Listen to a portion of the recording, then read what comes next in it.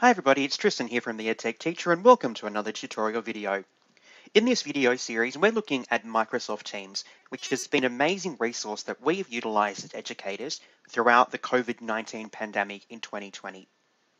So at the moment on my screen, you can see that I am in my the EdTech Teacher example group and team on Microsoft Teams.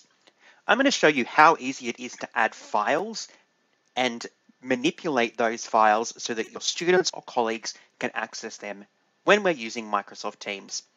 So I'm going to head up the top of my team and click on the Files tab, which is located next to Posts. This is where I'm able to add resources and files to my team for my colleagues or my students to access and use. There's a whole range of ways that I can do this, and there's a whole range of things that I can do to manipulate these for students and colleagues to use. So let's go and just add a new document to our team by clicking on the New tab. We can add a new folder, we can add a new Word document, Excel, PowerPoint, OneNote, or a form for Excel. Easy peasy by clicking on New. So I might add a new Word document. So I'm going to call this example. So I'm going to create a brand new Word document that we can all access and use from the Files tab. So it's going to open it up using Word's online version through Microsoft Teams. Now we can go in and we can create a Word document right here in Microsoft Teams. I'm going to click the close button here just to continue to show you what else you can do Files tab in Microsoft Teams. We can also add new folders. So let's say that I have a whole range of documents that go for a particular unit that I want to keep together so that they're nice and neat. I can create a folder where students can go to or my colleagues can go to to access those resources. So I'm going to call this Module 1 and create. You can see here but I've got a brand new folder that has been created that if I click in that, I can now upload folders and files into this particular folder for my students to add.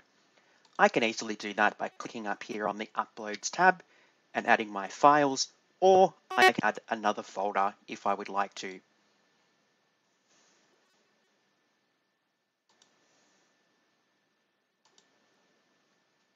It's really easy to add and upload files just click on Files and then find your particular file that you would like to upload. I'm going to choose one of my infographics here and upload that into this folder.